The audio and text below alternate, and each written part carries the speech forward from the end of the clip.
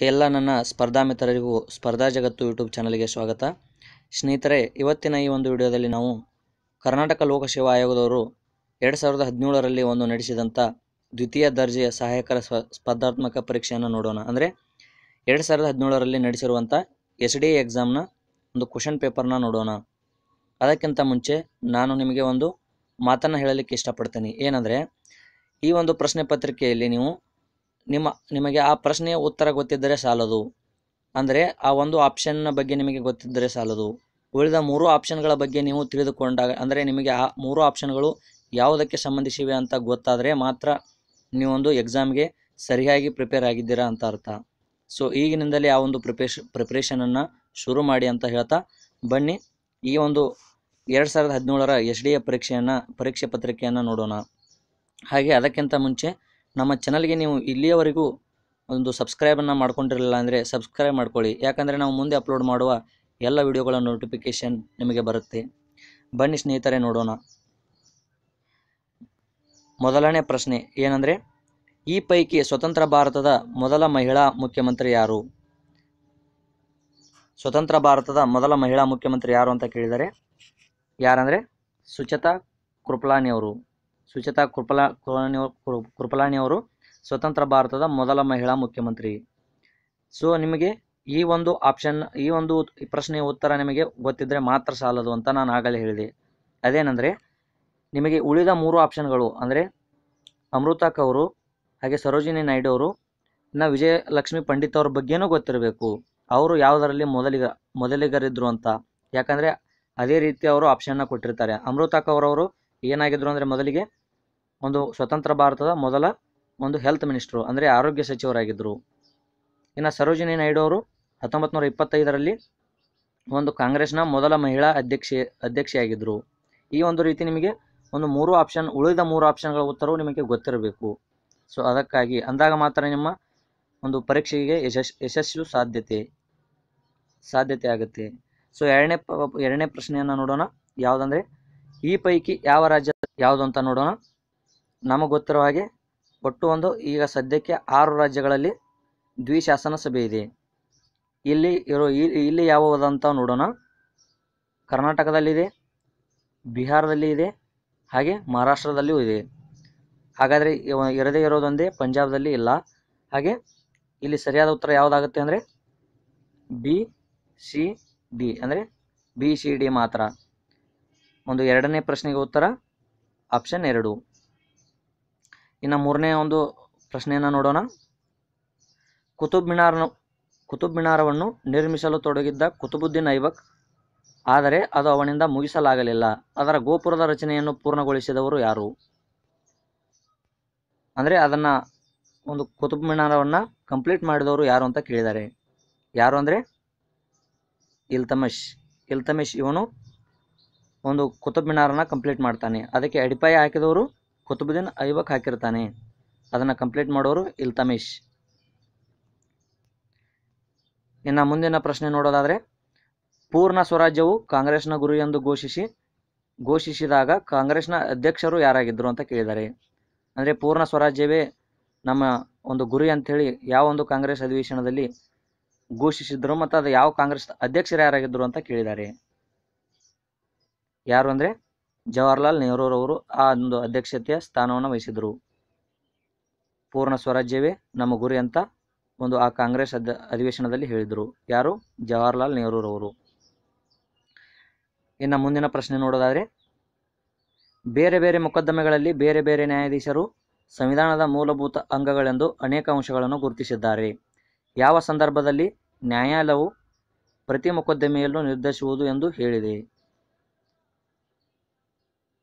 ಸರಿಯಾದ ಉತ್ತರ? ಇಂದಿರಾ ವರ್ಸಸ್ ರಾಜನಾರಾಯಣ ಮೊಕದ್ದಮೆ. ಇಂದಿರಾ ವರ್ಸಸ್ ರಾಜನಾರಾಯಣ ಮೊಕದ್ದಮೆ. ಇನ್ನು ಮುಂದೆ ಒಂದು ಪ, ಪ್ರಶ್ನೆಯನ್ನು ನೋಡೋದಾದರೆ, ಚೌರಾ ಚೌರಿ ಪ್ರಸಂಗದ ದಿಢೀ ದಿಢೀರನೆ ಕೊನೆಯಾದ ಚಳವಳಿ. ಅಂದರೆ ಈ ಚೌರಾ ಚೌರಿ ಒಂದು ಘಟನೆ ನಡೆಯುತ್ತಲ್ಲ, ಅದರಿಂದ, ಅದರ ಒಂದು ಪರಿಣಾಮದಿಂದ ಯಾವ ಒಂದು ಚಳವಳಿ, ಚಳವಳಿಯನ್ನು ಕೈ ಬಿಡಲಾಗುತ್ತೆ ಅಂತ ಕೇಳಿದ್ದಾರೆ ಯಾವುದು ಅಂದರೆ ಆಪ್ಷನ್ಸಲ್ಲಿ ನೋಡ್ಕೊಳ್ಳಿ. ವಹಾಬಿ ಚಳವಳಿ ಹೋಮ್ ರೂಲ್ ಚಳವಳಿ. ಹಾಗೆ ಮುಂದೆ ನೋಡೋದಾದರೆ ಅಸಹಕಾರ ಚಳವಳಿ, ನಾಗರಿಕ ಉಲ್ಲಂಘನಾ ಚಳವಳಿ. ಒಂದು ಹತ್ತೊಂಬತ್ತು ನೂರ ಇಪ್ಪತ್ತರಲ್ಲಿ ಸ್ಟಾರ್ಟ್ ಅಂದರೆ ಪ್ರಾರಂಭವಾದಂಥ ಅಸಹಕಾರ ಚಳವಳಿಯು, ಒಂದು ಹತ್ತೊಂಬ ಹತ್ತೊಂಬತ್ತು ನೂರ ಇಪ್ಪತ್ತೆರಡರಲ್ಲಿ ಚೋರಾಚೋರಿ ಘಟನೆಯಿಂದಾಗಿ ಅಸಹಕಾರ ಚಳವಳಿಯು ಏನಾಗುತ್ತೆ ಅಂದರೆ ಸ್ಥಗಿತ ಆಗುತ್ತೆ. ಚೌರಾಚೌರಿ ಘಟನೆ ನಂತರ ಸ್ಥಗಿತವಾದಂಥ ಚಳವಳಿ ಯಾವುದು ಅಂದರೆ ಅಸಹಕಾರ ಚಳವಳಿ ಸ್ಥಗಿತ ಆಗುತ್ತೆ. ಒಂದು ಏಳನೇ ಪ್ರಶ್ನೆಯ ಉತ್ತರ. ಸಿ ಆಗಿದೆ. ಅಂದರೆ ಮೂರನೇ ಆಪ್ಷನ್ ಇನ್ನು ಎಂಟನೇ ಪ್ರಶ್ನೆ ನೋಡೋದಾದರೆ, ಈ ಪೈಕಿ ಯಾವುದು ರಾಜ್ಯಪಾಲರ ಶಾಸನಾತ್ಮಕ ತೊಡಗುವಿಕೆಯನ್ನು ಸೂಚಿಸುವುದಿಲ್ಲ? ಯಾವ ಯಾವ ಒಂದು ಆಪ್ಷನಲ್ಲಿ ಸರಿಯಾಗಿದೆ ನೋಡಿ. ಅಂದರೆ ಏನು ಕೇಳಿದ್ದಾರೆ ಅವರು? ರಾಜ್ಯಪಾಲರ ಶಾಸನಾತ್ಮಕ ತೊಡಗುವಿಕೆಯನ್ನು ಸೂಚಿಸುವುದಿಲ್ಲ. ಅಂದರೆ ಅವರು ಶಾಸನಾತ್ಮಕದಲ್ಲಿ ತೊಡಗುವುದಿಲ್ಲ ಅಂತ ಕೇಳಿದ್ದಾರೆ ಯಾವುದು ಕೆಳಗಿನಲ್ಲಿ?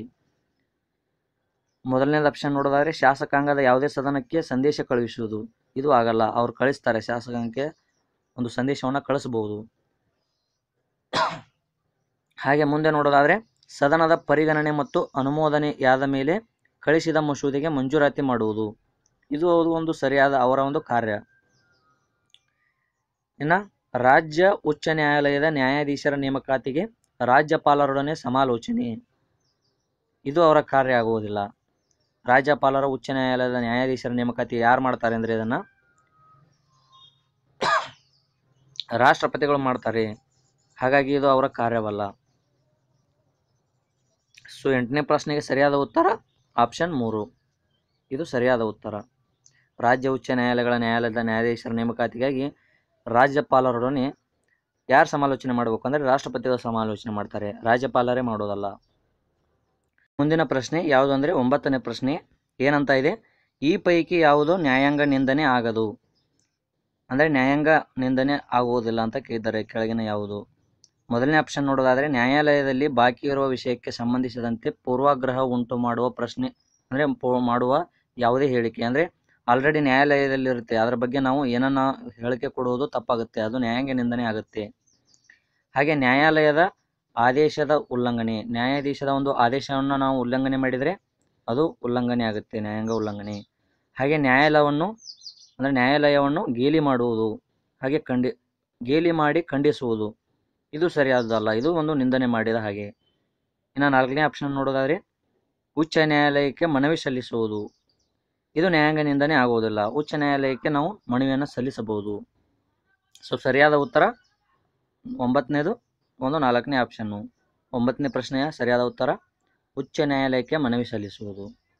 ಇನ್ನು ಮುಂದಿನ ಪ್ರಶ್ನೆ ನೋಡೋದಾದರೆ, ಈ ಪೈಕಿ ಯಾವುದು ಕಾರ್ಯಾಚರಣೆ ವಿವರಣೆಗೆ ಶಾಸಕಾಂಗದಿಂದ ಒಳಪಡದಿರುವುದು? ಅಂದರೆ ಕಾರ್ಯಾಚರಣೆ ವಿವರಣೆಗೆ ಶಾಸಕಾಂಗ ಅಂದರೆ ಒಳಪಡುವುದಿಲ್ಲ ಅಂತ ಕೇಳಿದ್ದಾರೆ. ಯಾವುದು ಒಳಪಡುವುದಿಲ್ಲ ಅಂತ ಕೇಳಿದ್ದಾರೆ. ಯಾವುದು ಅಂದರೆ, ಅವಿಶ್ವಾಸ ನಿರ್ಣಯ, ಇದು ಒಳಪಡುತ್ತೆ. ಇನ್ನು ಪ್ರಶ್ನಾವಧಿಯು ಒಳಪಡುತ್ತೆ. ಹಾಗೆ ಸಮಸ್ಯೆ ಗಮನ ಸೆಳೆಯುವ ಸೂಚನೆಗಳು ಅಂತ ಬರುತ್ತವೆ. ಇವು ಒಂದು ಶಾಸಕಾಂಗದ, ಶಾಸಕಾಂಗಕ್ಕೆ ಒಳಪಡ್ತವೆ. ಇನ್ನು ಸಾರ್ವಜನಿಕ ಹಿತಾಸಕ್ತಿ ಅರ್ಜಿಗಳು, ಅಂದರೆ ಸಾರ್ವಜನಿಕ ಹಿತಾಸಕ್ತಿ ಅರ್ಜಿಗಳು, ಇವು ಒಂದು ಶಾಸಕಾಂಗಕ್ಕೆ ಒಳಪಡುವುದಿಲ್ಲ. ಇನ್ನು ಮುಂದೆ ಪ್ರಶ್ನೆ ನೋಡೋದಾದರೆ, ಈ ಪೈಕಿ ಯಾವ ಕಾಯ್ದೆ ಭಾರತ ಶಾಸಕಾಂಗವನ್ನು ಎರಡು ಶಾಸಕಾಂಗ ಸಭೆಯನ್ನು ಒಳಗಳಾಗಿ ಮಾಡಲಾಗಿದೆ? ಅಂದರೆ ದ್ವಿಶಾಸನ ಸಭೆಯನ್ನು ಮಾಡಲಾಗಿದೆ ಅಂತ ಕೇಳಿದ್ದಾರೆ. ಯಾವ ಒಂದು ಬಾ ಕಾಯ್ದೆಯು ಭಾರತ ಶಾಸಕಾಂಗವನ್ನು ದ್ವಿಶಾಸನ ಸಭೆ ಮಾಡಲಾಗಿದೆ ಅಂತ ಕೇಳಿದ್ದಾರೆ. ಅಂದರೆ ಇಂಗ್ಲೀಷ್ನಲ್ಲಿ ಬೈ ಕ್ಯಾಮ್ರಲ್ ಅಂತಾರೆ. ಆಪ್ಷನ್ಸ್ನ ನೋಡೋದಾದರೆ, ಭಾರತ ಸರ್ಕಾರ ಕಾಯ್ದೆ ಹದಿನೆಂಟುನೂರ ನಲವತ್ತೆಂಟು, ಭಾರತ ಸರ್ಕಾರ ಕಾಯ್ದೆ ಹತ್ತೊಂಬತ್ತು ನೂರ ಹದಿನೈದು, ಭಾರತ ಸರ್ಕಾರ ಕಾಯ್ದೆ ಹತ್ತೊಂಬತ್ತು ನೂರ ಹತ್ತೊಂಬತ್ತು ಹಾಗೆ ಭಾರತ ಸರ್ಕಾರ ಕಾಯ್ದೆ ಹತ್ತೊಂಬತ್ತು ನೂರ ಮೂವತ್ತೈದು. ಸರಿಯಾದ ಉತ್ತರ ಯಾವುದು ಆಗುತ್ತೆ ಅಂದರೆ, ಭಾರತ ಸರ್ಕಾರ ಕಾಯ್ದೆ ಹತ್ತೊಂಬತ್ತು ನೂರ ಹತ್ತೊಂಬತ್ತರಲ್ಲಿ ಈ ಒಂದು ಕಾನೂನು ಜಾರಿಗೆ ಬರುತ್ತೆ. ಅಂದರೆ ಯಾವುದು? ಶಾಸಕಾಂಗ ಸಭೆಯಲ್ಲಿ, ಅಂದರೆ ಶಾಸಕಾಂಗದಲ್ಲಿ ಒಂದು ದ್ವಿಸದನಗಳನ್ನು ತರೋದು, ಅಂದರೆ ರಾಜ್ಯಸಭೆ ಹಾಗೂ ಲೋಕಸಭೆ ಅಂತ. ಮುಂದಿನ ಪ್ರಶ್ನೆ, ಪ್ರಶ್ನೆಯನ್ನು ನೋಡೋದಾದರೆ, ಭಾರತ ಸರ್ಕಾರಕ್ಕೆ ಆರ್ಥಿಕ ವರ್ಷ ಎಂದರೆ?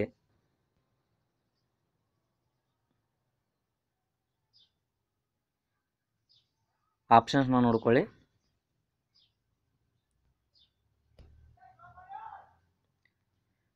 ಸರಿಯಾದ ಉತ್ತರ. ಒಂದು ನಿರ್ದಿಷ್ಟ ಕ್ಯಾಲೆಂಡರ್ ವರ್ಷದ ಏಪ್ರಿಲ್ ಒಂದರಿಂದ ಆರಂಭವಾಗಿ ಕ್ಯಾಲೆಂಡರ್ ವರ್ಷದ ಮಾರ್ಚ್ ಮೂವತ್ತೊಂದರಂದು ಕೊನೆಗೊಳ್ಳುವುದು.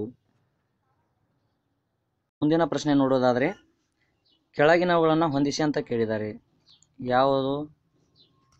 ಕೆಳಗಿನ ಒಂದು ಪಟ್ಟಿಯನ್ನು ನೋಡಿಕೊಳ್ಳಿ.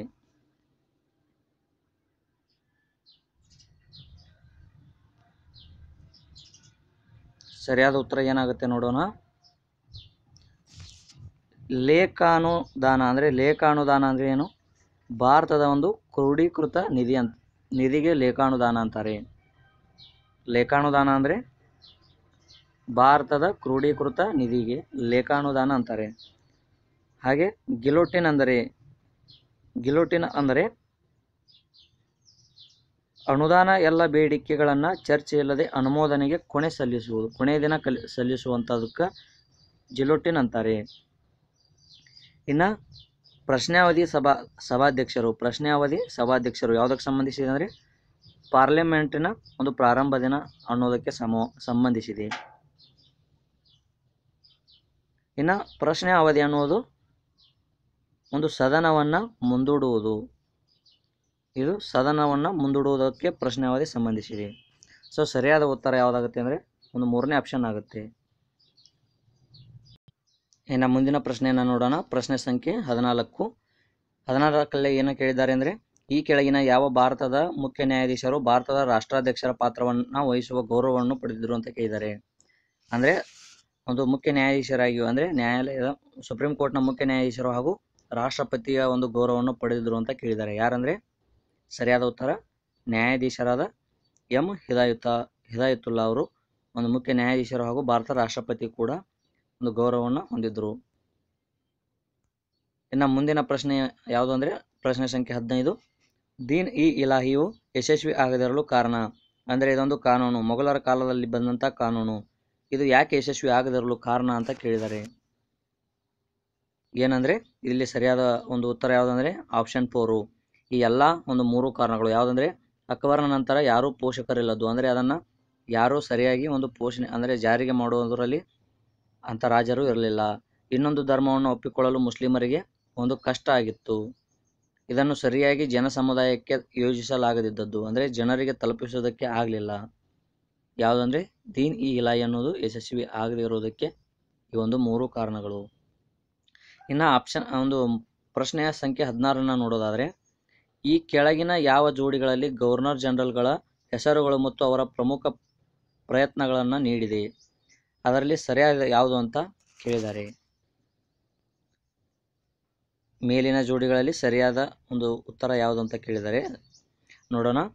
ರಾಬರ್ಟ್ ಕ್ಲೈವ್ ಬಂಗಾಳದಲ್ಲಿ ದ್ವಿ ಸರ್ಕಾರವನ್ನು ಜಾರಿಗೆ ಮಾಡ್ತಾನೆ. ಹಾಗೆ ಇನ್ನು ವಿಲಿಯಂ ಬೆಂಟಿಂಕ್ ಇವರು ಮುದ್ರಾ ನಿರ್ಬಂಧ ನಿ ರದ್ದತಿ, ಇದನ್ನು ಇವರು ಮಾಡೋದಿಲ್ಲ. ಹಾಗೆ ಚಾರ್ಲ್ಸ್ ಮೆಟ್ಕಪ್ ಒಂದು ಇಂಗ್ಲೀಷ್ ಕಾನೂನನ್ನು ಅಂದರೆ ಇಂಗ್ಲೀಷ್ ಶಿಕ್ಷಣವನ್ನು ತರ್ತಾರೆ. ಅಂತ ಇದು ಅಲ್ಲ. ಹಾಗೆ ಲಾರ್ಡ್ ಕರ್ಜನ್ ಅವರು ಒಂದು ಬಂಗಾಳದ ವಿಭಜನೆ. ಇದು ಇವರು ಮಾಡ್ತಾರೆ. ಅಂದರೆ ಇಲ್ಲಿ ಸರಿಯಾದ ಉತ್ತರ, ಎ ಮತ್ತು ಡಿ.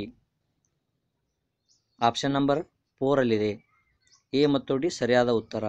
ರಾಬರ್ಟ್ ಕ್ಲೈವ್ ಬಂಗಾಳದಲ್ಲಿ ದ್ವಿ ಸರ್ಕಾರ ಪದ್ಧತಿಯನ್ನು ಜಾರಿಗೆ ತರ್ತಾನೆ. ಹಾಗೆ ಲಾರ್ಡ್ ಕರ್ಜನು ಬಂಗಾಳದ ವಿಭಜನೆಯನ್ನು ಮಾಡ್ತಾನೆ. ಇನ್ನು ಮುಂದಿನ ಪ್ರಶ್ನೆ ನೋಡೋದಾದರೆ, ಈ ಪೈಕಿ ಯಾವ ಸಂವಿಧಾನಕ್ಕೆ ತಿದ್ದುಪಡಿಯು ಭಾರತದ ಸಂವಿಧಾನದಲ್ಲಿ ಕಲಂ ಹದಿನೈದು ಭಾಗ ಐದನ್ನು ಸೇರ್ಪಡೆ ಮಾಡಿತು. ಭಾರತದ ಸಂವಿಧಾನದಲ್ಲಿ ಶಿಕ್ಷಣ ಸಂಸ್ಥೆಗಳಿಗೆ ಖಾಸಗಿ ವಲಯದಲ್ಲೂ ಸಹ ಮೀಸಲಾತಿ ಒದಗಿಸುವುದರ ಬಗ್ಗೆ. ಅಂದರೆ ಒಂದು ಹದಿನೈದು ಹದಿನೈದು ಕಲಂ ಹದಿನೈದು ಭಾಗ ಐದರಲ್ಲಿ ಏನು ಹೇಳಲಾಗಿದೆ ಅಂದರೆ, ಭಾರತ ಸಂವಿಧಾನದಲ್ಲಿ ಶಿಕ್ಷಣ ಸಂಸ್ಥೆಗಳ ಖಾಸಗಿ ವಲಯದಲ್ಲೂ ಸಹ ಮೀಸಲಾತಿಯನ್ನು ಕೊಡಬೇಕು ಅಂತ ಹೇಳಲಾಗಿದೆ. ಅದು ಯಾವ ಒಂದು ಕಾನೂನು ತಿದ್ದುಪಡಿ ಮೂಲಕವಾಗಿ ಮಾಡಲಾಗಿದೆ ಅಂತ ಕೇಳಿದ್ದಾರೆ. ಯಾವುದು ಅಂದರೆ, ಒಂದು ತೊಂಬತ್ತ್ಮೂರನೇ ತಿದ್ದುಪಡಿಯ ಮೂಲಕ ಈ ಒಂದು ಕಾನೂನನ್ನು ತರಲಾಗಿದೆ. ಅಂದರೆ ಖಾಸಗಿ ಸಂಸ್ಥೆಯ ಒಂದು ವಲಯದಲ್ಲೂ ಮೀಸಲಾತಿಯನ್ನು ಒದಗಿಸಬೇಕು ಅಂತ ಅನ್ನುವಂಥ ಕಾಯ್ದೆ ತೊಂಬತ್ತ್ಮೂರನೇ ತಿದ್ದುಪಡಿಯಲ್ಲಿ ತಂದಿದ್ದಾರೆ. ಹದಿನೇಳನೇ ಒಂದು ಪ್ರಶ್ನೆಗೆ ಸರಿಯಾದ ಉತ್ತರ ಆಪ್ಷನ್ ಫೋರ್. ಇನ್ನು ಮುಂದಿನ ಪ್ರಶ್ನೆ ನೋಡೋದಾದರೆ, ಈ ಹೇಳಿಕೆಗಳನ್ನು ಗಮನಿಸಿ ಅಂತ ಹೇಳಿದ್ದಾರೆ. ಆಹಾರ ಧಾನ್ಯವನ್ನು ಬೆಂಬಲ ಬೆಲೆಯಲ್ಲಿ ಪಡೆಯುವುದು, ಆಹಾರ ಧಾನ್ಯವನ್ನು ಬೆಂಬಲ ಬೆಲೆಯಲ್ಲಿ ಪಡೆಯುವುದು, ಕೃಷಿ ಬೆಲೆ ಸ್ಥಿರಗೊಳಿಸುವುದನ್ನು ಖಾತರಿಪಡಿಸುತ್ತದೆ. ಹೌದಾ? ಇಲ್ಲವಾ? ರೈತರಿಗೆ ಪರಿಹಾ, ಪರಿಹಾರಾತ್ಮಕ ಬೆಲೆ ದೊರ, ದೊರೆಯುವುದನ್ನು ಖಾತರಿಪಡಿಸುತ್ತದೆ. ಇದು ಸರಿಯಾದದ್ದಾ? ಇಲ್ಲ, ಆಹಾರ ಧಾನ್ಯದ ಸಾರ್ವತ್ರಿಕ ದಾಸ್ತಾನು ನಿರ್ಮಾಣಕ್ಕೆ ಸಹಾಯ ಮಾಡುವುದು. ಈ ಮೇಲಿನ ಹೇಳಿಕೆಗಳು ಯಾವುವು ಅಂತ ಸರಿಯಾಗಿವೆ ಅಂತ ಕೇಳಿದ್ದಾರೆ ಯಾವುದು ಸರಿಯಾದ ಒಂದು ಉತ್ತರ ಅಂದರೆ?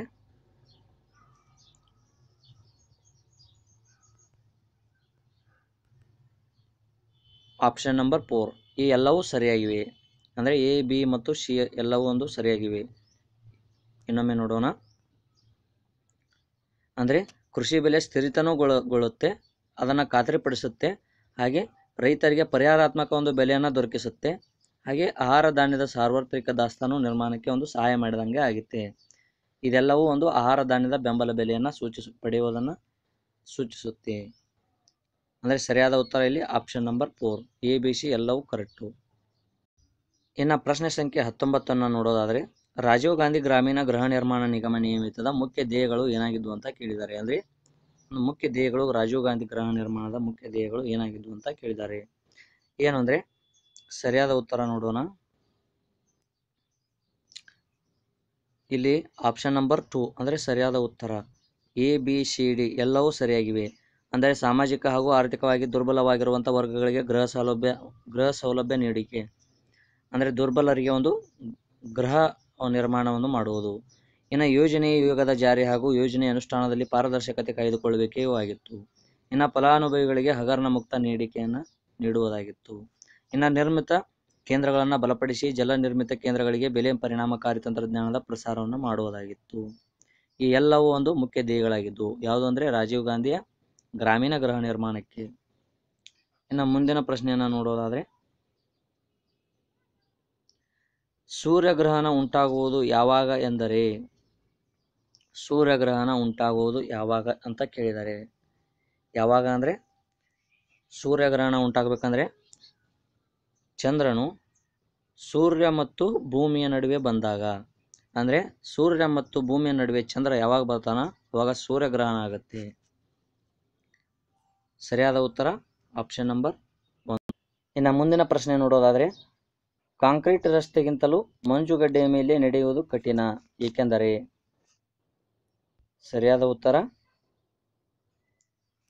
ಮಂಜುಗಡ್ಡೆ ಮತ್ತು ಪಾದಗಳ ನಡುವಿನ ಘರ್ಷಣೆಯು ಕಾಂಕ್ರೀಟ್ ಮತ್ತು ಉತ್ತಮ ಮತ್ತು ಪಾದಗಳ ನಡುವಿನ ಒಂದು ಘರ್ಷಣೆಗಿಂತ ಕಡಿಮೆ ಇರುತ್ತೆ ಅಂದರೆ ನಾವು ಮಂಜುಗಡ್ಡೆ ಮೇಲೆ ನಡೆದಾಡಬೇಕಂದ್ರೆ ಘರ್ಷಣೆ ಇರಲ್ಲ, ಫ್ರಿಕ್ಷನ್ ಕಡಿಮೆ ಇರುತ್ತೆ, ಅದಕ್ಕಾಗಿ ಜಾರುತ್ತೆ. ಹೀಗಾಗಿ ಅಲ್ಲಿ ನಡೆಯೋದು ಕಷ್ಟ ಆಗುತ್ತೆ. ಕಾಂಕ್ರೀಟ್ ರಸ್ತೆ ಮೇಲೆ ಘರ್ಷಣೆ ಜಾಸ್ತಿ ಇರುತ್ತೆ ಅಂದರೆ ಫ್ರಿಕ್ಷನ್ ಜಾಸ್ತಿ ಸಿಗುತ್ತೆ, ಅಲ್ಲಿ ಆರಾಮಾಗಿ ನಡಿಬೋದು. ಇದು ಸರಿಯಾದ ಉತ್ತರ ಆಪ್ಷನ್ ಎರಡು. ನಮ್ಮ ಮುಂದಿನ ಪ್ರಶ್ನೆ ನೋಡೋದಾದರೆ, ನೀರ ಹನಿಗಳು ದುಂಡಾಗಿರಲು ಕಾರಣ. ಒಂದು ನೀರಿನ ಸರ್ಫೇಸ್ ಅಂದರೆ ಮೇಲಿನ ಒಂದು ರೌಂಡ್ ಆಗಿರುತ್ತದೆ, ದುಂಡಾಗಿರಲು ಕಾರಣ ಏನಂತ ಕೇಳಿದ್ದಾರೆ. ಇದಕ್ಕೆ ಇಂಗ್ಲೀಷ್ನಲ್ಲಿ ಸರ್ಫೇಸ್ ಟೆನ್ಷನ್ ಅಂತಾರೆ, ಕನ್ನಡದಲ್ಲಿ ಮೇಲ್ಮೈ ಸೆಳಿತ. ಒಂದು ನೀರ ಹನಿಗಳು ದುಂಡಾಗಿರಲು ಕಾರಣ, ಒಂದು ಮೇಲ್ಮೈ ಸೆಳಿತ ಕಾರಣ ಆಗಿರುತ್ತೆ. ಇನ್ನು ಮುಂದಿನ ಪ್ರಶ್ನೆ ನೋಡೋದಾದರೆ, ಪೂರ್ಣ ಸೂರ್ಯಗ್ರಹಣದ ವೇಳೆ ಸೂರ್ಯನ ಯಾವ ಭಾಗವು ಗೋಚರ ಆಗುತ್ತೆ ಅಂತ ಕೇಳಿದ್ದಾರೆ. ಯಾವ ಭಾಗ ಗೋಚರ ಆಗುತ್ತೆ ಅಂದರೆ, ಕರೋಣ. ಈ ಕರೋಣ ಅನ್ನುವಂಥ ಭಾಗ ಸೂರ್ಯನ ಒಂದು ಪೂರ್ಣ ಸೂರ್ಯಗ್ರಹಣ ಆದಾಗ ಒಂದು ಗೋಚರಿಸುತ್ತೆ. ಯಾವುದು? ಕರೋನಾ ಭಾಗ. ಇನ್ನು ಮುಂದಿನ ಪ್ರಶ್ನೆ ನೋಡೋದಾದರೆ, ಶಬ್ದ ಇಲ್ಲಿ ಗರಿಷ್ಠ ವೇಗದಲ್ಲಿ ಸಾಗುತ್ತದೆ. ಅಂದರೆ ಸೌಂಡು ಯಾವ ಒಂದು ಮಾಧ್ಯಮದಲ್ಲಿ ಹೆಚ್ಚು ಹೆಚ್ಚು ಪ್ರಸಾರ ಆಗುತ್ತೆ ಅಂತ ಕೇಳಿದ್ದಾರೆ. ಯಾವುದಂದರೆ ಉಕ್ಕಿನಲ್ಲಿ ಉಕ್ಕಿನಲ್ಲಿ ಹೆಚ್ಚು ಪ್ರಸಾರ ಆಗುತ್ತೆ. ಹಾಗೆ ಒಂದು ಶೂನ್ಯದಲ್ಲಿ ಅಂದರೆ ಯಾವ ಒಂದು, ಅಂದರೆ ಶೂನ್ಯ ಇರುತ್ತೆ, ಶಬ್ದ ಎಲ್ಲಿ ಶೂನ್ಯ ಇರುತ್ತೆ ಅಂದರೆ ಒಂದು ವ್ಯಾಕ್, ವ್ಯಾಕ್ಯೂಮ್ನಲ್ಲಿ, ಅಂದರೆ ನಿರ್ವಾತ ಪ್ರದೇಶದಲ್ಲಿ ಶಬ್ದ ಶೂನ್ಯವಾಗಿರುತ್ತೆ.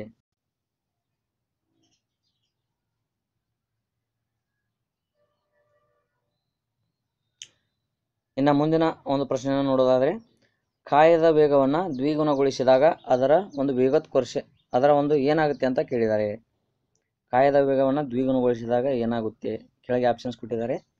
ಏನಾಗುತ್ತೆ ಅಂದರೆ, ಸಂವೇಗ ದ್ವಿಗುಣಗೊಳ್ಳುತ್ತೆ, ಹಾಗೆ ಚಲನ ಶಕ್ತಿ ನಾಲ್ಕು ಪಟ್ಟಾಗುತ್ತೆ. ಸಂವೇಗ ಏನಾಗುತ್ತೆ? ದ್ವಿಗುಣ ಆಗುತ್ತೆ, ಚಲನ ಶಕ್ತಿ ನಾಲ್ಕು ಪಟ್ಟಾಗುತ್ತೆ. ಹಾಗಾಗಿ ಬಿ ಮತ್ತು ಸಿ ಎರಡು ಸರಿ. ಸರಿಯಾದ ಉತ್ತರ ಆಪ್ಷನ್ ಟು ಬಿ ಮತ್ತು ಸಿ ಇನ್ನು ಮುಂದಿನ ಪ್ರಶ್ನೆ ನೋಡೋದಾದರೆ, ಉಣ್ಣೆ ನಮ್ಮನ್ನು ಚಳಿಗಾಲದಲ್ಲಿ ಬೆಚ್ಚಗಿಡಲು ಕಾರಣ? ಕಾರಣ ಏನು ಅಂತ ಕೇಳಿದ್ದಾರೆ ಉಣ್ಣೆ ಒಂದು ಶರ್ಟ್ನ ಧರಿಸ್ತೀವಲ್ಲ, ಬೆಚ್ಚಗಿಡುತ್ತೆ ಅದು. ಯಾಕೆ? ಕಾರಣ ಏನು ಅಂತ ಕೇಳಿದ್ದಾರೆ ಸರಿಯಾದ ಉತ್ತರ ಏನಂದರೆ, ಉಣ್ಣೆ ದೇಹದಿಂದ ಉಷ್ಣವನ್ನು ತಪ್ಪಿಸಿಕೊಳ್ಳದಂತೆ ತಡೆಯುವುದು. ಅಂದರೆ ದೇಹದಲ್ಲಿರುವಂಥ ಒಂದು ಉಷ್ಣತೆಯನ್ನು ಹೊರ ಹೋಗೋದಕ್ಕೆ ಬಿಡುವುದಿಲ್ಲ. ಸರಿಯಾದ ಉತ್ತರ, ಆಪ್ಷನ್ ಮೂರು. ಇನ್ನು ಮುಂದಿನ ಪ್ರಶ್ನೆ ನೋಡೋದಾದರೆ ಅಜಾತ ಶತ್ರು ಯಾವ ರಾಜ್ಯದ ದೊರೆಯಾಗಿದ್ದ ಅಂತ ಕೇಳಿದ್ದಾರೆ ಅಜಾತಶತ್ರು ಯಾವ ರಾಜ್ಯದ ದೊರೆ? ಯಾವ ರಾಜ್ಯದ ಅಂದರೆ ಮಗಧ ರಾಜ್ಯದ ದೊರೆಯಾಗಿದ್ದ. ಯಾರು? ಅಜಾತಶತ್ರು. ಇನ್ನು ಮುಂದಿನ ಪ್ರಶ್ನೆ ನೋಡೋದಾದರೆ, ಪ್ರಪಂಚದಲ್ಲಿ ಅಂದರೆ ಪ್ರಪಂಚದ ಇತಿಹಾಸದಲ್ಲಿ ರಕ್ತ ಮತ್ತು ಉಕ್ಕಿನ ಮನುಷ್ಯ ಎಂದು ಹೆಸರಾದವರು ಯಾರು? ರಕ್ತ ಮತ್ತು ಉಕ್ಕಿನ ಮನುಷ್ಯ ಯಾರು ಅಂತ ಕೇಳಿದರೆ.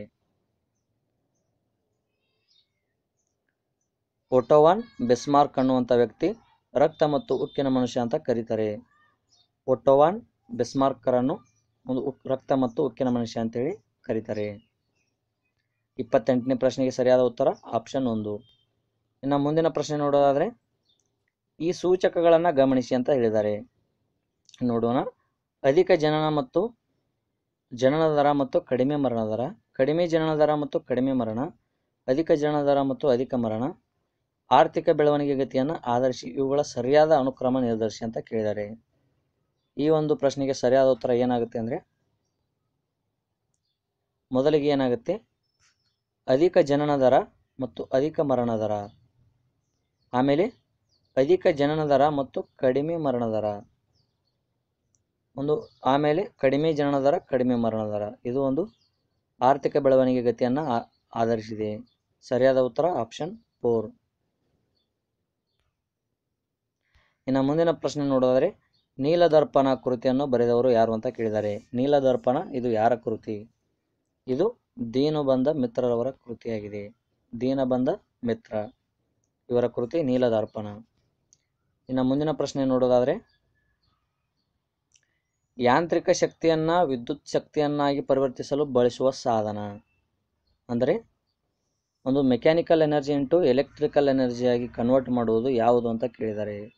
ಯಾವ ಒಂದು ಇಕ್ವಿಪ್ಮೆಂಟ್ನ ನಾವು ಯೂಸ್ ಮಾಡ್ತೀವಿ.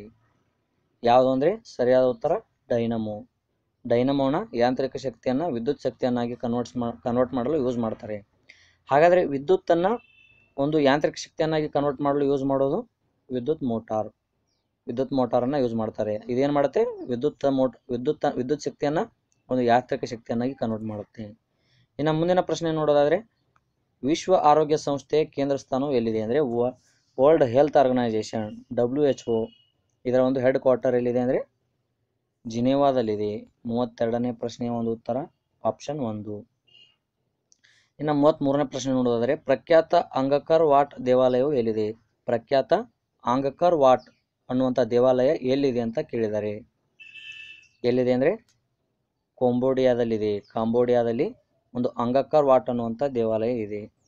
ಇದೊಂದು ಇಂಪಾರ್ಟೆಂಟು ಇನ್ನು ಮುಂದೆ ನೋಡಿದಾದರೆ ಕರ್ನಾಟಕದ ಯಾವ ಜಿಲ್ಲೆಯಲ್ಲಿ ಪ್ರಸಿದ್ಧ ಪ್ರವಾಸಿ ತಾಣವಾದ ನಂದಿ ಬೆಟ್ಟಗಳು ಇರುವುದು? ಅಂದರೆ ನಂದಿ ಬೆಟ್ಟಗಳು ಯಾವ ಒಂದು ಜಿಲ್ಲೆಯಲ್ಲಿ ಕಂಡು ಬರ್ತವೆ ಅಂತ ಕೇಳಿದ್ದಾರೆ ಸರಿಯಾದ ಉತ್ತರ ಯಾವುದು ಅಂದರೆ ಇದಕ್ಕೆ? ಚಿಕ್ಕಬಳ್ಳಾಪುರ. ಅಂದರೆ ನಂದಿ ಬೆಟ್ಟಗಳು ಎಲ್ಲಿ ಕಂಡು ಬರ್ತವೆ ಅಂದರೆ ಒಂದು ಚಿಕ್ಕಬಳ್ಳಾಪುರ ಜಿಲ್ಲೆಯಲ್ಲಿ ಕಂಡು ಬರ್ತವೆ.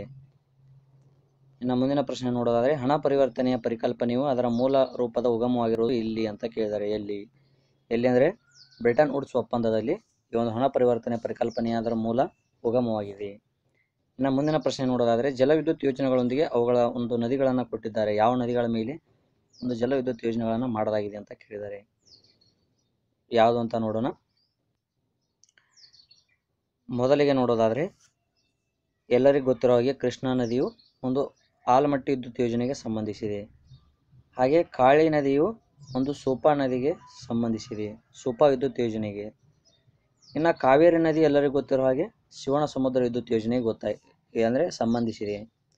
ಇನ್ನು ಶರಾವತಿ ನದಿಯು ಶರಾವತಿ ನದಿಯ ಮೇಲೆ ಮಹಾತ್ಮ ಗಾಂಧಿ ವಿದ್ಯುತ್ ಯೋಜನೆಯನ್ನು ಮಾಡಲಾಗಿದೆ. ಅಂದರೆ ಇಲ್ಲಿ ಸರಿಯಾದ ಉತ್ತರ ಯಾವುದಾಗುತ್ತೆ ಅಂದರೆ ಆಪ್ಷನ್ ನಂಬರ್ ಟೂ ಆಗುತ್ತೆ. ಆಪ್ಷನ್ ನಂಬರ್ ಟು ಈ ಒಂದು ಇಪ್ಪತ್ತಾರನೇ ಅಂದರೆ ಮೂವತ್ತಾರನೇ ಕ್ವಶನ್ಗೆ ಸರಿಯಾದ ಉತ್ತರ. ಇನ್ನು ಮುಂದಿನ ಪ್ರಶ್ನೆ ನೋಡೋದಾದರೆ ಕೈಗಾ ಅಣು ವಿದ್ಯುತ್ ಯೋಜನೆಯನ್ನು ಯಾವ ನದಿಯ ದಂಡೆಯ ಮೇಲೆ ಸ್ಥಾಪಿಸಲಾಗಿದೆ ಅಂತ ಕೇಳಿದ್ದಾರೆ ಕೈಗಾ ನದಿಯ, ಅಂದರೆ ಕೈಗಾ ಅಣು ವಿದ್ಯುತ್ ಯೋಜನೆಯನ್ನು ಯಾವ ನದಿಯ ದಂಡೆಯ ಮೇಲೆ, ಯಾವ ದಂಡೆಯ ಮೇಲೆ ಸ್ಥಾಪಿಸಲಾಗಿದೆ? ಆ ನದಿಯ ದಂಡೆಯನ್ನು ಕೇಳಿದ್ದಾರೆ ಯಾವುದು ಅಂದರೆ ಸರಿಯಾದ ಉತ್ತರ, ಕಾಳಿ ನದಿಯ ಎಡದಂಡೆ ಮೇಲೆ, ಕಾಳಿ ನದಿಯ ಎಡದಂಡೆ ಮೇಲೆ ಒಂದು ಕೈಗಾ ವಿನು, ಅಣು ವಿದ್ಯುತ್ ಯೋಜನೆಯನ್ನು ಸ್ಥಾಪಿಸಲಾಗಿದೆ. ಇನ್ನು ಮುಂದಿನ ಪ್ರಶ್ನೆ ನೋಡೋದಾದರೆ ಕ್ರಯೋಜೆನಿಕ್ ಎಂಜಿನ್ಗಳ ಒಂದು ಅನ್ವಯದಲ್ಲಿ ಇದರಲ್ಲಿ ಕಾಣಬಹುದು ಅಂತ ಕೇಳಿದರೆ ಕ್ರಯೋಜೆನಿಕ್ ಎಂಜಿನ್ಗಳ ಅನ್ವಯವನ್ನು ಇದರಲ್ಲಿ ಕಾಣಬಹುದು. ಯಾವುದರಲ್ಲಿ ಅಂದರೆ? ರಾಕೆಟ್ ತಂತ್ರಜ್ಞಾನದಲ್ಲಿ. ರಾಕೆಟ್ ತಂತ್ರಜ್ಞಾನದಲ್ಲಿ ಒಂದು ಕ್ರಯೋಜನಿಕ್ ಎಂಜಿನ್ಗಳ ಅನ್ವಯವನ್ನು ಕಾಣಬಹುದು. ಪ್ರಶ್ನೆ ಸಂಖ್ಯೆ ಮೂವತ್ತೊಂಬತ್ತು. ಏನಿದೆ ಅಂತ ನೋಡೋಣ. ಕೆಳಗಿನ ಹೇಳಿಕೆಗಳನ್ನು ಪರಿಗಣಿಸಿ. ಹೇಳಿಕೆ ಎ. ಏನು ಹೇಳುತ್ತೆ ಅಂದರೆ ಹದಿನಾರು ನೂರ ಎರಡರಲ್ಲಿ ಫತೇಪುರ್ ಸಿಕ್ರಿಯಲ್ಲಿ ಒಂದು ಬುಲಂದ ದರ್ವಾಜ ಅಕ್ಬರ್ನಿಂದ ನಿರ್ಮಿತವಾಗುತ್ತೆ ಅಂತ ಹೇಳಿದ್ದಾರೆ. ಇನ್ನು ಹೇಳಿಕೆ ಬಿ ಯಲ್ಲಿ ಏನು ಹೇಳಿದ್ದಾರೆ? ಗುಜರಾತ್ನ ವಿಜಯದ ಸ್ಮಾರಕವಾಗಿ ಅಕ್ಬರ್ ಬುಲಂದ ದರ್ವಾಜವನ್ನು ನಿರ್ಮಿಸಿದಾನೆ ಅಂತ ಹೇಳಿದ್ದಾರೆ. ಏನು ಕೇಳಿದ್ದಾರೆ ಅಂದರೆ ನೀಡಿರುವ ಸಂಕೇತಗಳಿಂದ ಸರಿ ಉತ್ತರವನ್ನು ಆರಿಸಿ ಅಂತ ಕೇಳಿದ್ದಾರೆ. ಇಲ್ಲಿ ಸರಿಯಾದ ಉತ್ತರ ಯಾವುದಾಗುತ್ತೆ ಅಂದರೆ ಸ್ನೇಹಿತರೆ, ಬಿ ಮಾತ್ರ ಸರಿಯಾಗುತ್ತೆ. ಹೇಗೆ ಅಂದರೆ ಫತೇಪುರ್ ಸಿಕ್ರಿಯಲ್ಲಿ ಬುಲಂದ ದರ್ವಾಜ ಅಕ್ಬರ್ನಿಂದ ನಿರ್ಮಿತವಾಗುತ್ತೆ ನಿಜ, ಆದರೆ ಹದಿನಾರು ನೂರ ಎರಡರಲ್ಲಿ ಅಲ್ಲ ಹದಿನಾರು ನೂರ ಒಂದರಲ್ಲಿ ಆಗುತ್ತೆ. ಹಾಗೆ ಗುಜರಾತ್ನದ ಒಂದು ವಿಜಯದ ಸ್ಮಾರಕವಾಗಿಯೇ ಬುಲಂದ ದರ್ಜ, ದರ್ವಾಜವನ್ನು ನಿರ್ಮಿಸ್ತಾನೆ. ಇದು ಸರಿಯಾದ ಉತ್ತರ. ಆದರೆ ಹದಿನಾರು ನೂರ ಎರಡರಲ್ಲಿ ಅಲ್ಲ, ಹಾಗಾಗಿ ಹೇಳಿಕೆ ಎ ತಪ್ಪಾಗುತ್ತೆ, ಹೇಳಿಕೆ ಬಿ ಮಾತ್ರ ಸರಿಯಾಗುತ್ತೆ. ಸರಿಯಾದ ಉತ್ತರ? ಮೂವತ್ತೊಂಬತ್ತನೇ ಪ್ರಶ್ನೆಗೆ ಆಪ್ಷನ್ ಟು. ಇನ್ನು ಮುಂದಿನ ಪ್ರಶ್ನೆ ನೋಡೋದಾದರೆ ಭಾರತದಲ್ಲಿ ದಶಮಾನ ಅಂದರೆ ದಶಮಾಂಶ ಹಣ ಪದ್ಧತಿಯ ಬಳಕೆ ಪ್ರಾರಂಭವಾಗಿದ್ದು ಯಾವಾಗ ಅಂತ ಕೇಳಿದ್ದಾರೆ ಅಂದ್ರೆ ಕರೆನ್ಸಿಯನ್ನು ಒಂದು ದಶಮಾಂಶದಲ್ಲಿ ಒಂದು ಆರಂಭ ಮಾಡಿದ್ದು. ಅಂದರೆ ಪದ್ಧತಿಯನ್ನು ಬಳಕೆ ಮಾಡುವ ಒಂದು ಆರಂಭ, ಪ್ರಾರಂಭ ಯಾವಾಗ ಆಗಿದ್ದಂದರೆ ಸರಿಯಾದ ಉತ್ತರ ಏಪ್ರಿಲ್ ಹತ್ತೊಂಬತ್ತು ನೂರ ಐವತ್ತೇಳರಿಂದ. ಏಪ್ರಿಲ್ ಹತ್ತೊಂಬತ್ತು ನೂರ ಐವತ್ತೇಳರಿಂದ ಒಂದು ದಶಮಾಂಶ ಹಣ ಪದ್ಧತಿಯ ಬಳಕೆ ಪ್ರಾರಂಭ ಆಗಿದೆ. ಇನ್ನು ಮುಂದಿನ ಪ್ರಶ್ನೆ ನೋಡೋದಾದರೆ, ಇಂಗ್ಲೆಂಡಿನ ನೂತನ ಪ್ರಧಾನಿ ಮಂತ್ರಿಯಾದ ಶ್ರೀಮತಿ ತೆರೆಸಾ ಮೇರ್ ಅವರು ಈ ಪಕ್ಷಕ್ಕೆ ಸೇರಿದವರಾಗಿದ್ದಾರೆ. ಅಂದರೆ ಇದು ಒಂದು ಎರಡು ಸಾವಿರದ ಹದಿನೇಳರಲ್ಲಿ, ಅಂದರೆ ಹದಿನೇಳರಲ್ಲಿ ನಡೆದಂಥ ಕ್ವಶನ್ ಪೇಪರ್ ಆಗಿರೋದ್ರಿಂದ ಆವಾಗಿನ ಒಂದು ಕರೆಂಟ್ ಅಫೇರ್ ಮೇಲೆ ಬಂದಿರುವಂಥ ಕ್ವಶನ್ ಇದು. ಪ್ರಚಲಿತ ಘಟನೆ ಮೇಲೆ ಬಂದಿರುವಂಥದ್ದು ಈಗಿನ ನೂತನ ಪ್ರಧಾನಿ ಜಾನ್ಸ್ ಬೋರಿಸ್ ಅವರು ಇದ್ದಾರೆ. ಒಂದು ಇಂಗ್ಲೆಂಡಿನ ನೂತನ ಪ್ರಧಾನಿಯಾಗಿ ಬೋರಿಸ್ ಅವರು ಇದ್ದಾರೆ. ಆದರೆ ಇಲ್ಲಿ ತೆರೆಸಾ ಮೇ ಅವರು ಆವಾಗಿನ ಒಂದು ಯಾವ ಪಕ್ಷಕ್ಕೆ ಸೇರಿದ್ರು ಅಂದರೆ ಕನ್ಸರ್ವೇಟಿವ್ ಪಕ್ಷಕ್ಕೆ ಸೇರಿದ್ರು. ಯಾರು? ತೆರೆಸಾ ಮೇ ಅವರು. ಇನ್ನು ಮುಂದಿನ ಪ್ರಶ್ನೆ ನೋಡೋದಾದರೆ, ಕೆಳಗಿನ ಹೇಳಿಕೆಗಳನ್ನು ಪರಿಗಣಿಸಿ ಅಂತ ಹೇಳಿದ್ದಾರೆ. ನೋಡೋಣ. ಮಾನವ ಮಾನವ ಬೆಳವಣಿಗೆ ಸೂಚ್ಯಂಕವು ಜೀವನ ನಿರೀಕ್ಷೆ ಶೈಕ್ಷ ಶೈಕ್ಷಣಿಕ ಸಾಧನೆ, ತಲಾ ಆದಾಯ ಮತ್ತು ಜೀವನ ಮಟ್ಟದ ಸೂಚ್ಯಂಕಗಳ ಮೇಲೆ ಆಧಾರಿತವಾಗಿದೆ ಅಂತ ಕೇಳಿದ್ದಾರೆ. ಅಂದರೆ ಮಾನವನ ಬೆಳವಣಿಗೆ ಏನಾಗಿದೆ? ಅವನ ಸೂಚ್ಯಂಕವು ಜೀವನ ನಿರೀಕ್ಷೆಯ ಶೈಕ್ಷಣಿಕ ಸಾಧನೆ, ಸ್ಥಳ ಆದಾಯ ಮತ್ತು ಜೀವನದ ಮಟ್ಟದ ಸೂಚ್ಯಂಕಗಳ ಮೇಲೆ ಆಧಾರವ ಆಧಾರವಾಗಿದೆ ಅಂತ ಕೇಳಿದ್ದಾರೆ. ಹೇಳಿದ್ದಾರೆ. ಮತ್ತು ಅದು ಒಂದು ರಾಷ್ಟ್ರದ ಸಾಮಾಜಿಕ ಆರ್ಥಿಕ ಬೆಳವಣಿಗೆಯ ಪರ್ಯಾಯ ಸೂಚಕವಾಗಿದೆ ಅಂತ ಹೇಳಿದ್ದಾರೆ. ಇದರಲ್ಲಿ ಯಾವ ಹೇಳಿಕೆಯು ಸರಿಯಾಗಿದೆ ಅಂತ ಕೇಳಿದ್ದಾರೆ. ಯಾವ ಹೇಳಿಕೆ ಸರಿಯಾಗಿದೆ ಅಂದರೆ, ಒಂದು ವರ್ ಒಂದು ರಾಷ್ಟ್ರದ ಸಾಮಾಜಿಕ ಆರ್ಥಿಕ ಬೆಳವಣಿಗೆಯು ಪರ್ಯಾಯ ಸೂಚಕವಾಗಿದೆ ಅನ್ನುವಂಥ ಒಂದು ವಾಕ್ಯ ಮಾತ್ರ ಇಲ್ಲಿ ಸರಿಯಾಗಿದೆ. ಆಪ್ಷನ್ ಬಿ ಮಾತ್ರ ಸರಿ.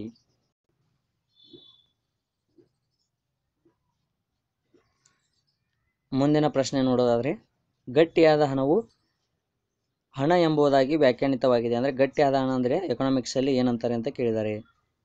ಏನಂತಾರೆ? ಆಪ್ಷನ್ಸ್ನ ನೋಡ್ಕೊಳ್ಳಿ. ಗಟ್ಟಿ ಆದಾಯನ ಅಂದರೆ, ಈ ಪ್ರಶ್ನೆಗೆ ಸರಿಯಾದ ಉತ್ತರ ಆಪ್ಷನ್ ಫೋರ್ ಗಟ್ಟಿ ಆದಾಯ ಅಂದರೆ ಆಕಸ್ಮಿಕವಾಗಿ ಅಪಮೌಲ್ಯವಾಗುವಂಥದ್ದಲ್ಲ ಅಥವಾ ಮೌಲ್ಯದಲ್ಲಿ ಹೆಚ್ಚು ಏರಿಳಿತವಾಗುವುದು, ಅಥವಾ ಮತ್ತು ವಿದೇಶಿ ವಿನಿಮಯದಲ್ಲಿ ಅಧಿಕ ದ್ರವ್ಯವಾಗಿರುವುದಕ್ಕೆ ಏನಂತಾರೆ? ಗಟ್ಟಿ ಹಣ ಅಂತ ಕರೀತಾರೆ ಎಕನಾಮಿಕ್ಸಲ್ಲಿ ಅರ್ಥಶಾಸ್ತ್ರ, ಶಾಸ್ತ್ರದಲ್ಲಿ. ಇನ್ನು ಮುಂದೆ ಪ್ರಶ್ನೆ ನೋಡೋದಾದರೆ, ರಕ್ತದ ಹೆಪ್ಪುಗಟ್ಟುವಿಕೆಯಲ್ಲಿ ಯಾವ ವಿಟಮಿನ್ ಸಹಾಯಕ ಆಗುತ್ತೆ ಅಂತ ಕೇಳಿದ್ದಾರೆ. ಸರಿಯಾದ ಉತ್ತರ ಯಾವುದು ಅಂದರೆ ಇದಕ್ಕೆ? ವಿಟಮಿನ್ ಕೆ ಇದಕ್ಕೆ ಸರಿಯಾದ ಉತ್ತರ. ಒಂದು ವಿಟಮಿನ್ ಕೆ ರಕ್ತ ಹೆಪ್ಪುಗಟ್ಟುವಿಕೆಯಲ್ಲಿ ಸಹಾಯ ಮಾಡುತ್ತೆ.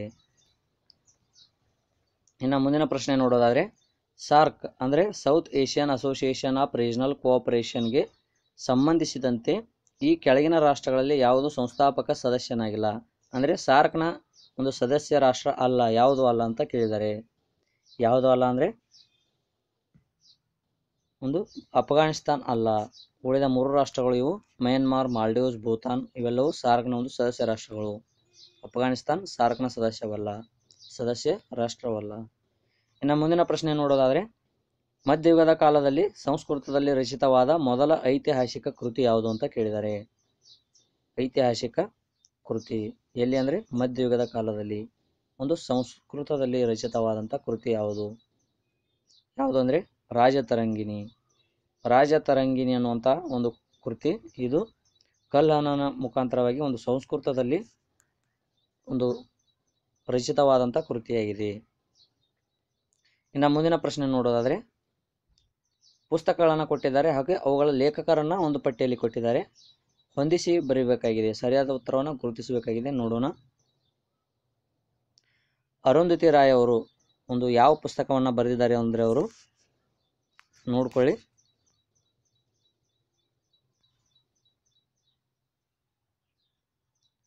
ಅರುಂಧತಿ ರಾಯ್ ಅವರು ಬರೆದಂಥ ಪುಸ್ತಕ The God of Small Things ಅನ್ನುವಂಥ ಒಂದು ಪುಸ್ತಕ ಅರುಂಧತಿ ಅರುಂಧತಿ ರಾಯ್ ಅವ್ರದ್ದು. ಇನ್ನು ಅರವಿಂದ್ ಅಡಿಗ ಅವರದು ಅರವಿಂದ್ ಅಡಿಗ ಅವರದು ಯಾವುದಂದ್ರೆ ದ ವೈಟ್ ಟೈಗರ್ ಅನ್ನುವಂಥ ಪುಸ್ತಕ ದ ಅರವಿಂದ್ ಅಡಗ ಅಡಿಗ ಅವ್ರದ್ದು ಇನ್ನು ರಸ್ಕಿನ್ ಬಾಂಡ್ ಅನ್ನುವಂಥ ಪುಸ್ತಕ ಯಾರ್ದು ಅಂದರೆ ಯಾವುದು ಅಂದರೆ The Blue Umbrella The Blue Umbrella ಅನ್ನುವಂಥ ಪುಸ್ತಕ ರಸ್ಕಿನ್ ಬಾಂಡ್ ಅವ್ರದ್ದು ಹಾಗೆ ಇನ್ನು ಕುಶ್ವತ್ ಸಿಂಗ್ ಅವ್ರದ್ದು ಯಾವುದಂದರೆ ಕುಶ್ವತ್ ಸಿಂಗ್ ಅವ್ರದ್ದು ಟ್ರೈನ್ ಟು ಪಾಕಿಸ್ತಾನ್ ಅನ್ನುವಂಥ ಒಂದು ಪುಸ್ತಕದ ಲೇಖಕರು ಕುಶ್ವಂತ್ ಸಿಂಗ್ ಅವರು. ಅರು ಅರುಂಧತಿ ರಾಯ್ ಅವ್ರದ್ದು The God of Small Things. ಸರಿಯಾದ ಉತ್ತರ ಹಾಗ- ಹಾಗಾದರೆ ಯಾವುದಾಗುತ್ತೆ ಅಂದರೆ ಎರಡನೇ ಆಪ್ಷನ್ ಆಗುತ್ತೆ. ಎರಡನೇ ಆಪ್ಷನ್ಸ್ ಇದಕ್ಕೆ ಸರಿಯಾದ ಉತ್ತರ. ಇನ್ನು ಮುಂದಿನ ಪ್ರಶ್ನೆ ನೋಡೋದಾದರೆ ಈ ಕೆಳಗಿನ ಹೇಳಿಕೆಗಳನ್ನ ಪರಿಗಣಿಸಿ ಅಂತ ಒಂದಷ್ಟು ಹೇಳಿಕೆಗಳನ್ನ ಕೊಟ್ಟಿದ್ದಾರೆ. ಮುಂದೆ ನೋಡೋಣ. ಪರಿಸರ ಮತ್ತು ಅಭಿವೃದ್ಧಿಗಳ ಮೇಲಿನ ವಿಶ್ವಸಂಸ್ಥೆಯ ಸಮ, ಸಮಾವೇಶವು ಬ್ರೆಜಿಲ್ನ ರಿಯೋ ಡಿ ಜಿನಿವರದಲ್ಲಿ ನಡೆಯಿತು. ಅಂದರೆ ಇದೊಂದು ಕರೆಂಟ್ ಅಫೇರ್ಸ್ ಮೇಲೆ ಬಂದಂಥ ಕ್ವಶನ್ ಆಗಿದೆ. ಹತ್ತೊಂಬತ್ತು ನೂರ ತೊಂಬತ್ತೆರಡರ ರಿಯೋ ಡಿ ಜನೈರೋ ಶೃಂಗದ ಮುಖ್ಯ ಸೂಚಿ ಪತ್ರ ಎಂದರೆ ಸುಸ್ಥಿರ ಅಭಿವೃದ್ಧಿಯನ್ನು ಇಪ್ಪತ್ತೊಂದನೇ ಶತಮಾನದಲ್ಲಿ ಸಾಧಿಸುವುದು. ಅಂದರೆ ಎರಡು ಹೇಳಿಕೆಗಳಲ್ಲಿ ಸರಿಯಾದ ಉತ್ತರ ಯಾವುದು ಅಂತ ಕೇಳಿದ್ದಾರೆ ಎರಡು ಹೇಳಿಕೆಗಳಲ್ಲಿ ಸರಿಯಾದ ಉತ್ತರ ಯಾವುದು ಅಂದರೆ ಎ ಮತ್ತು ಬಿ ಎರಡು. ಇವೆರಡು ಒಂದು ಸರಿಯಾದ ಹೇಳಿಕೆಗಳಾಗಿವೆ. ಇನ್ನು ಮೂರನೇ ಪ್ರಶ್ನೆ ನೋಡೋದಾದರೆ, ಈ ಕೆಳಗಿನ ವಿದ್ಯಮಾನಗಳ ಸರಿಯಾದ ಕಾಲಾನುಕ್ರಮ ಯಾವುದು ಅಂತ ಕೇಳಿದ್ದಾರೆ ಯಾವುದಾಗುತ್ತೆ? ಯಾವುದಾಗುತ್ತೆ ಅಂದರೆ, ಇದರಲ್ಲಿ ಈ ಆಪ್ಷನ್ಗಳಲ್ಲಿ ತಪ್ಪಾಗಿ ಕೊಡಲಾಗಿದೆ. ಅಂದರೆ ಸರಿಯಾದ ಉತ್ತರ ಏನಾಗಬೇಕಾಗಿತ್ತು? ಸಿ ಎ ಡಿ ಬಿ ಅಂತ ಆಗಬೇಕಾಗಿತ್ತು. ಸಿ ಎ ಡಿ ಬಿ ಆದರೆ ಇಲ್ಲಿ ಆಪ್ಷನ್ಗಳನ್ನು ತಪ್ಪಾಗಿ ಕೊಡಲಾಗಿದೆ ಹಾಗೆ ಕೆ ಪಿ ಎಸ್ ಇಂದಾನು ಕೂಡ ಒಂದು ಗ್ರೇಸ್ ಮಾರ್ಕ್ಸ್ ಕೊಡಲಾಗಿದೆ. ಈ ಒಂದು ಕ್ವಶನ್ಗಳ ಒಂದು ಡೇಟ್ ನೀವು ಸರಿಯಾಗಿ ನೋಡ್ಕೊಳ್ಳಿ. ನಾಗರಿಕ ಉಲ್ಲಂಘನಾ ಚಳವಳಿ ಯಾವಾಗಾಯಿತು ಅಂದರೆ ಒಂದು ಮಾರ್ಚ್ ಹನ್ನೆರಡು ಹತ್ತೊಂಬತ್ತು ನೂರ ಮೂವತ್ತರಂದು ಆಗುತ್ತೆ. ಹಾಗೆ ಭಗತ್ ಸಿಂಗ್, ರಾಜ್ಗುರು ಮತ್ತು ಸುಖದೇವರನ್ನು ಒಂದು ಮಾರ್ಚ್ ಹನ್ನೆರಡರಂದು ಹತ್ತೊಂಬತ್ತು ನೂರ ಮೂವತ್ತೊಂದರಂದು ಮರಣದಂಡೆಯ, ಮರಣದಂಡನೆಗೆ ಗುರಿಪಡಿಸಲಾಗುತ್ತೆ. ಇನ್ನು ಜವಾಹರ್ಲಾಲ್ ನೆಹರು ಭಾರತ ರಾಷ್ಟ್ರೀಯ ಕಾಂಗ್ರೆಸ್ ಅಧ್ಯಕ್ಷರಾಗಿದ್ದು ಹತ್ತೊಂಬತ್ತು ನೂರ ಇಪ್ಪತ್ತೊಂಬತ್ತರಲ್ಲಿ. ಇನ್ನು ಗಾಂಧಿ ಇರ್ವಿನ್ ಪ್ಯಾಕ್ಟ್ ಅಂದರೆ ಈ ಒಂದು ಪ್ಯಾಕ್ಟ್ ಆಗಿದ್ದು ಮಾರ್ಚ್ ಐದು ಹತ್ತೊಂಬತ್ತು ನೂರ ಮೂವತ್ತೊಂದರಲ್ಲಿ. ಸೊ ಹಾಗಾಗಿ ಇದು ಏನಾಗಬೇಕಾಗಿತ್ತು? ಸಿ ಎ ಡಿ ವಿ ಅಂತ ಆಗಬೇಕಾಗಿತ್ತು. ಸೊ ಇದು ತಪ್ಪಾಗಿದೆ. ಹಾಗೆ ಅದಕ್ಕೆ ಗ್ರೇಸ್ ಮಾರ್ಕ್ಸ್ ಕೂಡ ಸಿಕ್ಕಿದೆ ಇನ್ನು ಮುಂದಿನ ಒಂದು ಪ್ರಶ್ನೆಯನ್ನು ನೋಡೋಣ.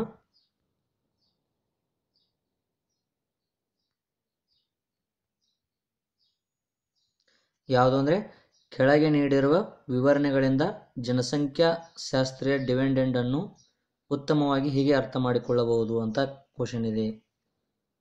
ಇದರ ಸರಿಯಾದ ಉತ್ತರ ಏನಾಗುತ್ತೆ ಅಂದರೆ, ಒಂದು, ಕೆಳಗೆ ನೀಡಿರುವ ವಿವರಣೆಗಳಿಂದ ಜನಸಂಖ್ಯಾ ಶಾಸ್ತ್ರೀಯ ಡಿವೆಂಡೆಂಡನ್ನು ಉತ್ತಮವಾಗಿ ಹೀಗೆ ಅರ್ಥ ಮಾಡಿಕೊಳ್ಳಬಹುದು ಅಂದರೆ, ಇದರ ಸರಿಯಾದ ಉತ್ತರ ಆಪ್ಷನ್ ಎ, ಒಂದು, ಜನಸಂಖ್ಯೆಯಲ್ಲಿ ಕಾರ್ಯಶೀಲ ವಯಸ್ಸಿನ ಜನರ ಏಳಿಗೆಯ ಪಾಲಿನಿಂದ ಉಂಟಾದ ಆರ್ಥಿಕ ಬೆಳವಣಿಗೆಯಲ್ಲಾದ ಏರಿಕೆಯ ದರ.